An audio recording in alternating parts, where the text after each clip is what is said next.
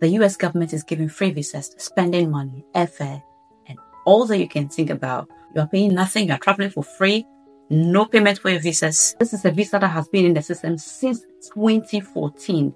Till date, it is still in the system. They have actually opened opportunity for people to apply for 2025 already. So if you want to know more about this, stay tuned. I will be right back.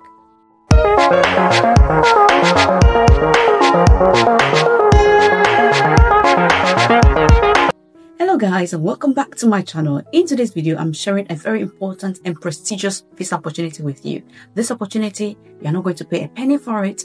It's all free. I have actually been a beneficiary of this visa and it's been such a life transforming opportunity. So I want to share this with you. But before I go into the video for today, I want to welcome all of you who are new here. Hello guys, welcome to my channel. My name is Rita Siaw. I am an educator, an author, a public speaker, and the founder of Feminine Star Africa, a non-profit organization that is working to empower young women and girls. My channel is all about living and working in the UK, motherhood, relationship, personal development, and anything I can share with you to help you grow as an individual. So if you want to know more, please take a seat by subscribing to this channel and also turning on your notification bell so that anytime a new video is up, you will receive alert from me. Do not hesitate to also share this video because someone out there could benefit from this. Leave a nice comment down there and also like this video because it helps my video a lot.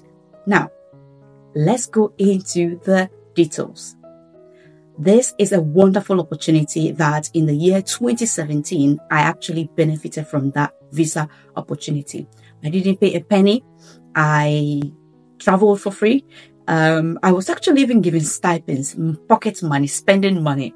And it was such a fantastic opportunity, a life transforming opportunity, a life changing opportunity. That is why as soon as I heard that this visa opportunity is opened again, I said, this is it. I need to share with all of you, my wonderful subscribers. Let's delve into this incredible US government initiative called Mandela Washington Fellowship Program. Mandela Washington Fellowship Program is an incredible US government initiative that aims to empower young African leaders like you.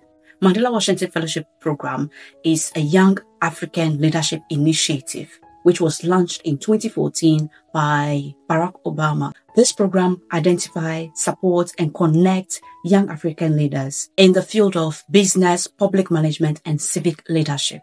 Every year, about 700 dynamic young African leaders from sub-Saharan Africa are selected to participate in a six weeks intensive training in universities followed by a summit in Washington, D.C., which is like the climax of the celebration. And some of these young leaders are actually also selected to do their internship in various companies and organizations in the US.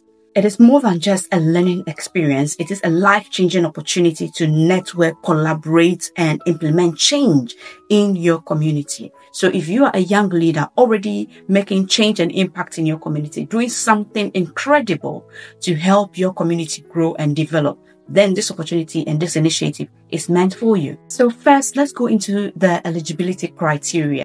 For you to be eligible, the first and most important thing is that you must be a young African leader from sub-Saharan Africa. You should also be between the ages of 25 to 35. However, exceptional leaders as young as 21 have been accepted into this program. So even if you're 21 to 24, you should still stand a chance if only you have a track record that speaks for itself.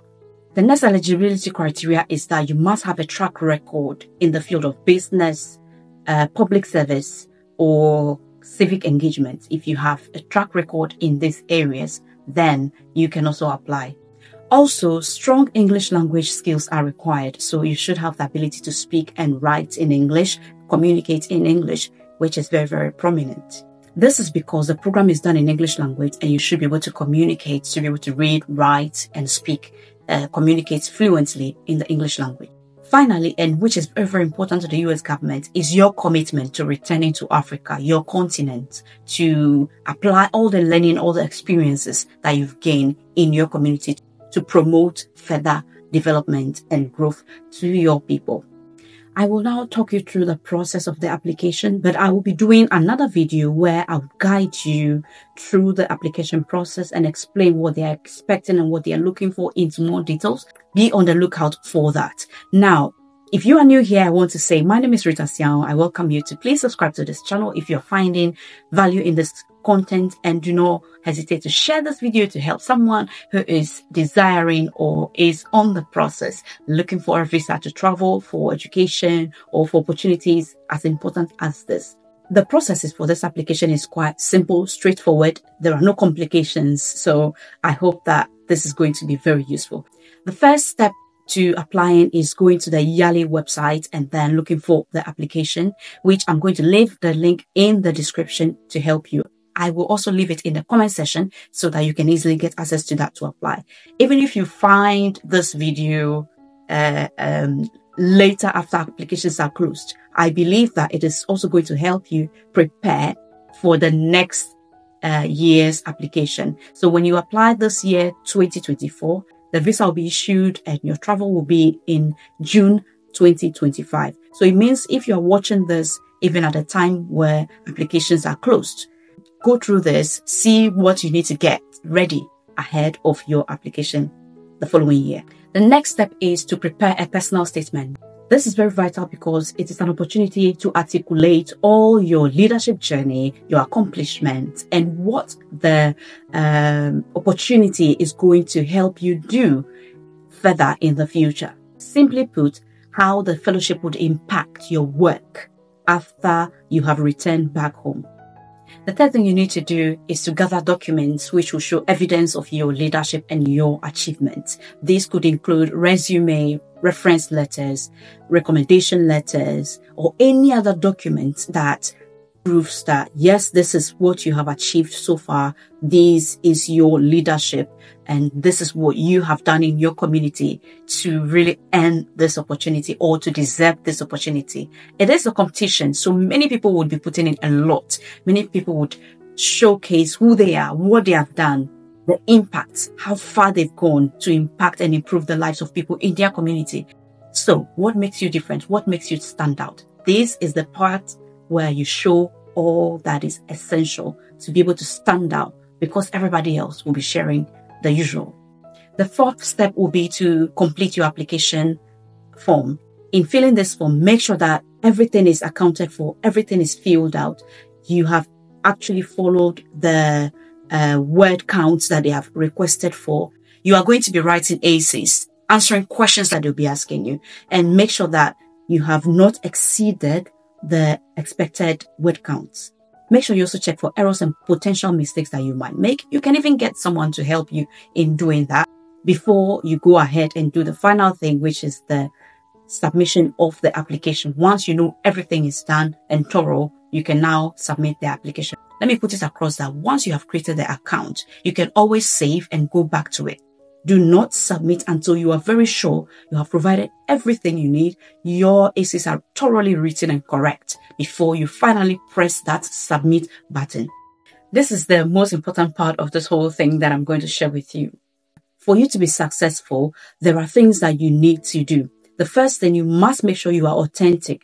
Use real life experiences, real stories to show how you have been a great leader, to show your achievement, to show your accomplishment. Be authentic. Be yourself. Do not just copy somebody. Everything you have done as a leader, show this in your writing.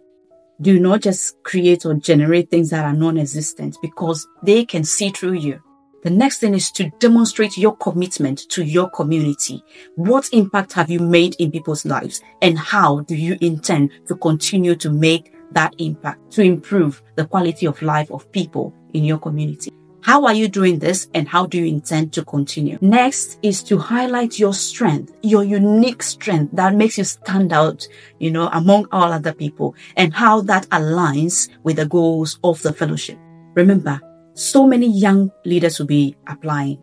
In 2017, over 64,000 African leaders applied. Can you imagine? And only 1,000 were selected. So it is very, very competitive. It is not a joke. That is why you don't want to put an application that is general like everybody else would do. You need to showcase your unique strength, your talent, your abilities, what you are doing and how you are doing it. The next thing you can do is to reach out to past fellows or uh, Mandela Washington Fellowship alumni who could help you by sharing their personal experiences with you and their thoughts with you and ideas that could help you put in a very strong application. And guess what? I am one of them. All right. So that's why I'm here already sharing with you. So do not hesitate. If you are putting an application and you find a challenge, all you need to do is to email me, rita at femininestarafrica.org, and I will be able to step in to help you where it's needed. You want to stand out. You want to be unique. You want to show that you really, really want this opportunity and it means a lot to you. That is why I will repeat proofread, proofread, proofread. Keep proofreading until you are sure that there are no mistakes. Make sure someone even proofread. Usually what I advise people who want to apply is that copy and paste the questions on your application form onto a Word document. Answer these questions thoroughly. Read the questions again. Read your answer. See where you are falling short or where you think that you need to add something concrete. What is missing?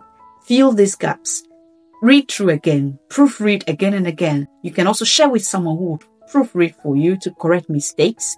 That would be a good way to go about this so that you stand out and your work is thorough. Once your application is submitted and the closing date is up, there will be a review panel that would review all the applications.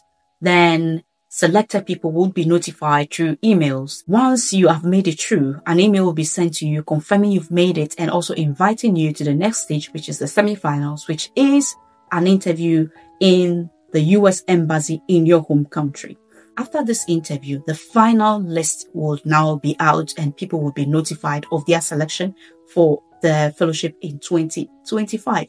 And that's the part that we all want to get to, right? Get to the final part where you receive that good news that your visa is issued. You're going to have free money given to you. Your stipends will be paid to you. You will be fed. All your needs when you go there will be taken care of. Somewhere around the month of June, you would be embark on this trip. There is also another component of this application, which is PDE, Professional Development Experience once you're applying for the Mandela Washington Fellowship, you get to a point where they'll ask if you're interested in applying for the PDE. Professional development experience enables you to do an internship, which is additional six weeks in a company or an organization. Under studying them, you'll be given accommodation, uh, stipends, and taken care of. Okay. You'd have uh, people you would work with, someone who will be your coordinator you would work with. So you can actually decide to apply for just the Mandela Washington Fellowship Experience, which is just a six weeks program, or you apply for the Mandela Washington Fellowship Experience and also apply for the Professional Development Experience. Both comes together to make up a three months experience, and you can even stay a couple of months after you are done uh, to explore the US before you come back, depending on the length of your visa which I think is about four to six months visa. It is such a prestigious opportunity. I've experienced this and guess what? I actually even did the, the PDE. I did my internship in uh, Dayton, Ohio, which was such a fantastic experience. This is something that you do not want to miss, guys. You don't want to miss this. It's priceless. It changes your perspective to life. It opens opportunities to you. I'm going to share more about my Mandela Washington Fellowship experience in a different video because I don't want this video to be too long. So guys, this is it for today. If you are interested in applying, I would really like to read your comments. Leave your thoughts in the comment section for me. Are you going to apply for this? And would you apply for the PDE? Is there anything you need help with? What are you doing in your community that you think is outstanding, that you think would help you to earn this opportunity. I would love to read from you all. As I said earlier, this opportunity is not just a learning opportunity. If you are into business, you are going to be networking with and meeting great businessmen and women in the US to connect your company to theirs to see how you can leverage on that or that relationship or that connection to grow your organization. If you're going to be doing the PDE, it's an opportunity for you to do an internship in a company, okay, that aligns with your vision or what you are doing. It could be a non-profit that you are running. It could be a business you are running. It could be that you are in a leadership position in politics, whatever you are doing.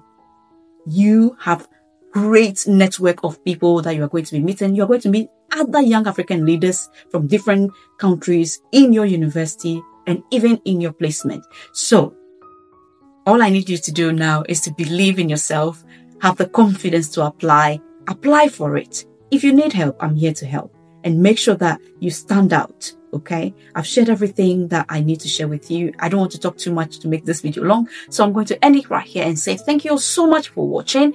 If you are new here, my name is Rita Siaw. I am an educator, a public speaker, and the author of Your Unstoppable. I encourage you to please subscribe to this channel, turn on your notification bell so that anytime a new video is up, you will receive alerts from me.